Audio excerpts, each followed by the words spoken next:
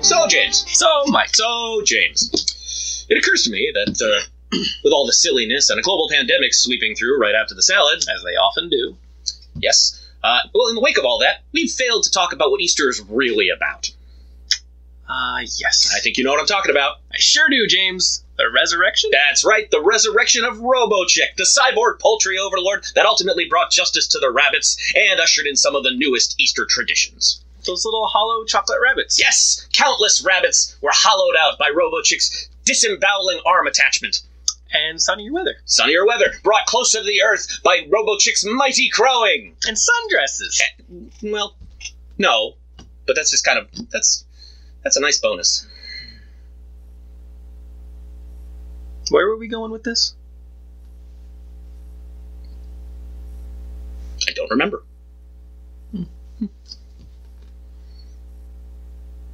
Egg custard tart. Egg custard tart.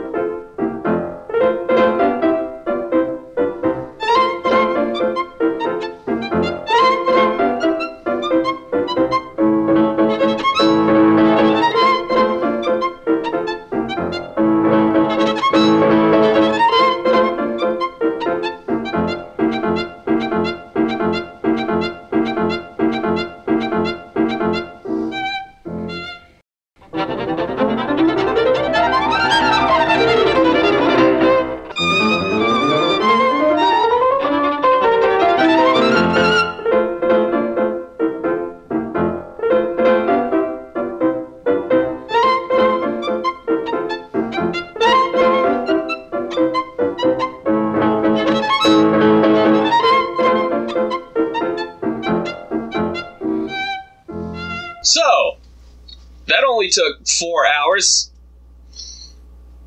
Uh, there were a lot of, um, let's say, complications in the process. Let me start at the beginning. The egg custard tart recipe that we based this off of was actually from the Great British Baking Show. I don't watch that show. Katie was kind enough to, to help me out with it.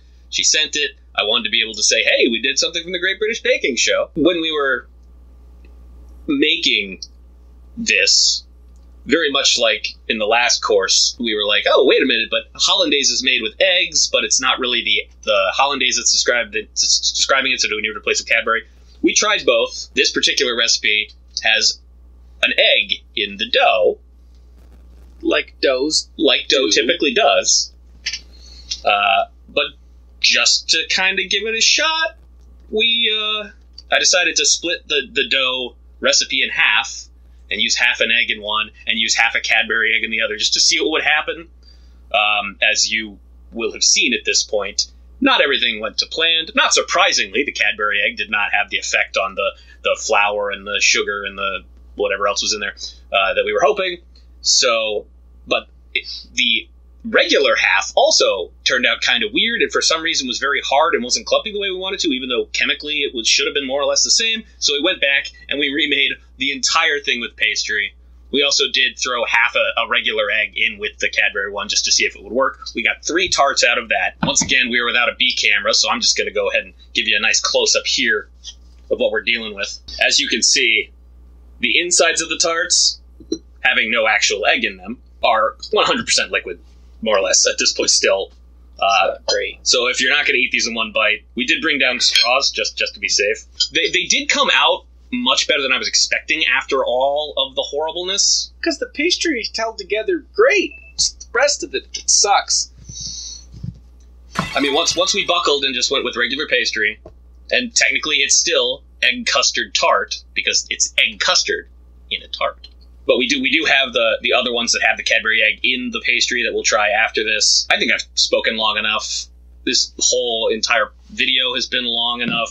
Let's just Great. dive in, get the dessert done, and plow through so we can immediately move on to filming our Halloween episode. Okay. Um, just, how do you? Cheers. You gonna sip it? No, you want a bite.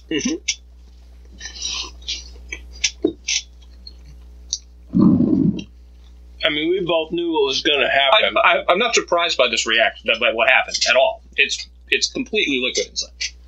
Yep. We were surprised at how easily they came out of the pan, and of course, I forgot to grab myself a napkin ahead of time. Again, even though I said as we were coming down the stairs, I'm going to grab myself a napkin ahead of time. I'm going to remember that you want. Thank you. Oh, I thought it was one of the. Okay. So that doesn't surprise me. Ah, wow. As far as the taste goes, Mm. what are you celebrating? Well, I was just about to say that the taste was fine. It's not a, being able to eat it is not a feat, other than the technical difficulties of. This is why he wins. He knows when to shut up.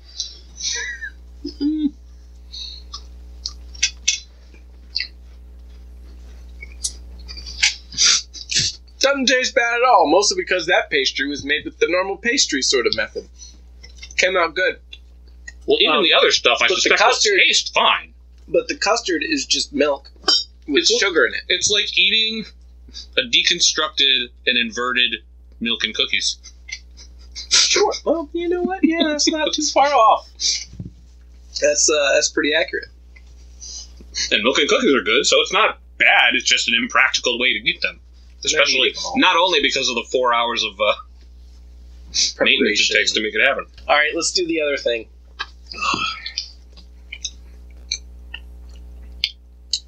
Because that tart was actually a pretty good tart. Why is it called a tart? There's nothing tart about this at all. There's nothing tart about it. It's, It's- just kind of like a very fluffy sugar cookie. Should we put vinegar in it? What? No, fuck It's- you. There, the uh, I sour, hate- I have sour mix in the fridge. I hate the way your mind works. I have sour mix in the fridge. No. No. Never. Okay, well you don't have to do it, but I'm going to. Okay.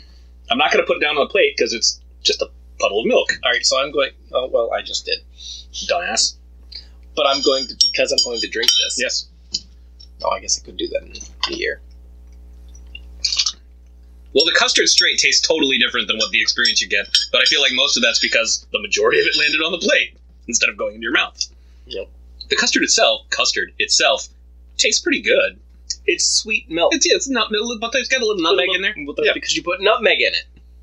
That's- what the recipe calls for. The recipe calls for. It's yes. British, Michael. Now I have to apologize to them too. God damn, I'm just, I'm just going on a world tour. Carmen Sandiego could take a could take a lesson. I don't know if you can see it from here, but I left a little bit of the the, the custard juice. Feels like a really bad way to Runoff that. is probably a more accurate. yeah in there. So I'm, I'm just gonna see if I can fit this whole thing in my mouth at once. Oh, cool. mm-hmm.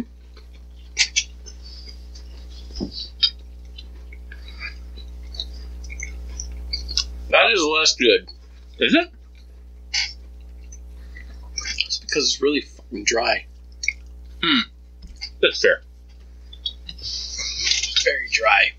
I don't consider dryness a taste necessarily. No, but it's part of the experience. Yeah, you're right, you're right. Acknowledge it. It's definitely hurting my teeth more. Hmm. Probably because it's got 50% more sugar in it.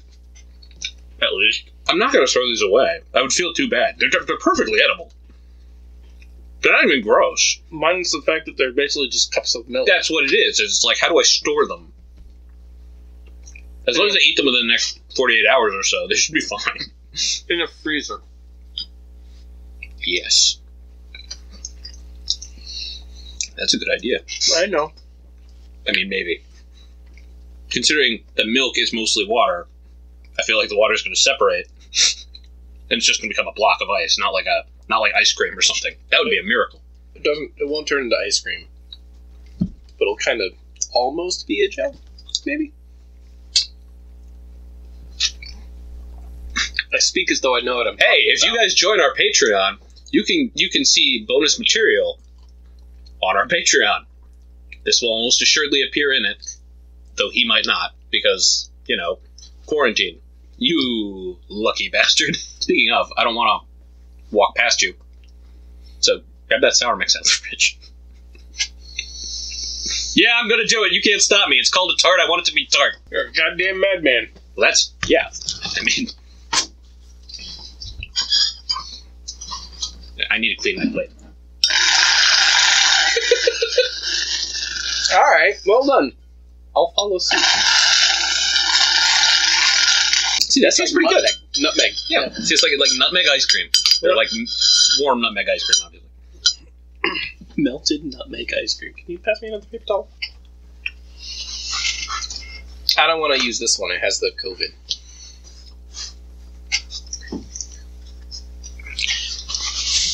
So, while I am absolutely going to do this, uh, I'm not.